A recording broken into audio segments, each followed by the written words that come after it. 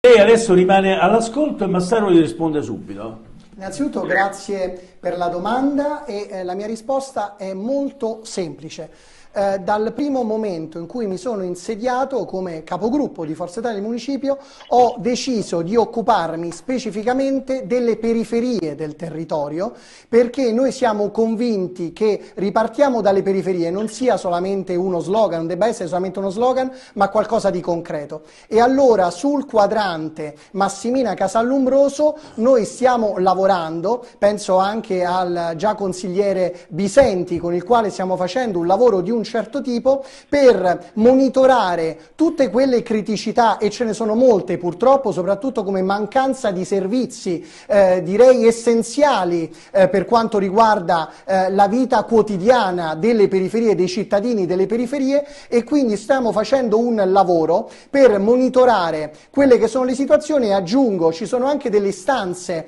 che stanno provenendo dal territorio dei cittadini e che stanno arrivando anche all'attenzione della Commissione Lavori Pubblici, della Commissione Periferie del Municipio dodicesimo per fare in modo di riqualificare le periferie e aggiungo un elemento. Da vicepresidente della Commissione Cultura del Municipio ho posto un elemento come cardine di questa azione politica, cioè il fatto che anche nelle periferie dobbiamo portare gli eventi culturali, turistici, perché questo è il modo migliore per riqualificare da una parte un territorio eh, senza dover costringere i cittadini a raggiungere le zone centrali della città, loro devono avere il diritto non solo di avere una, eh, un municipio in periferia che abbia strade ben manutenute, i servizi essenziali, le scuole, eh,